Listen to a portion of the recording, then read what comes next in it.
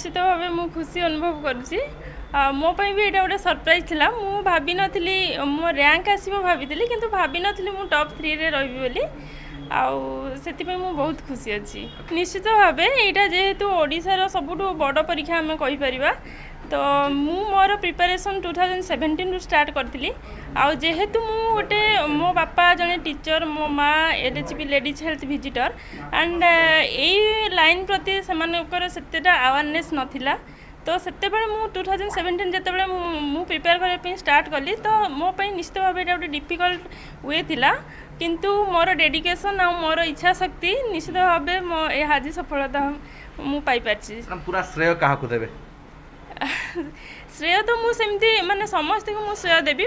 ପ୍ରଥମେ ପ୍ରଭୁ ଜଗନ୍ନାଥଙ୍କୁ ମୁଁ ମୋର ଶ୍ରେୟ ଦେବି। ତା ସହିତ ମୋର ଫ୍ୟାମିଲି ମୋ ବାପା ମା ମୋ ଫ୍ୟାମିଲି ଆଣ୍ଡ ମୋର ଅଲ୍ ୱେଦର ଫ୍ରେଣ୍ଡ କାହ୍ନୁ ସବୁ ସମୟରେ ମୋତେ ସେ ହେଲ୍ପ କରିଛି।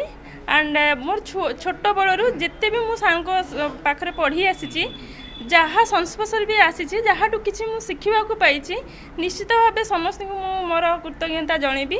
ଆଉ ସମସ୍ତ ଓଡ଼ିଶାକୁ ମୋର କୃତଜ୍ଞତା ଆଉ ସମସ୍ତଙ୍କୁ ମୋର ଅଭିନନ୍ଦନ। ଖୁସି ନିଶ୍ଚିତ ଭାବେ ଯେହେତୁ ଓଡ଼ିଶା ଗୋଟେ poverty mainly poverty means sir below poverty ଏରିଆରେ ଯାଉଛି। ତ ସେଥିପାଇଁ ମୁଁ ଆଗ ମୋର ପ୍ରଥମ ପ୍ରାଧାନ୍ୟ ରହିବ ସ୍ୱାସ୍ଥ୍ୟ କ୍ଷେତ୍ରରେ। ତାପରେ ଏଜୁକେସନ୍ କ୍ଷେତ୍ରରେ।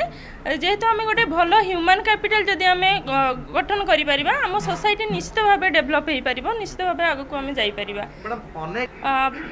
ତାଙ୍କ ପାଇଁ ମୁଁ ପ୍ରଥମତଃ କହିବି ନିଜର ଇଚ୍ଛା ଶକ୍ତି ଆଗେ ଦୃଢ଼ କରନ୍ତୁ।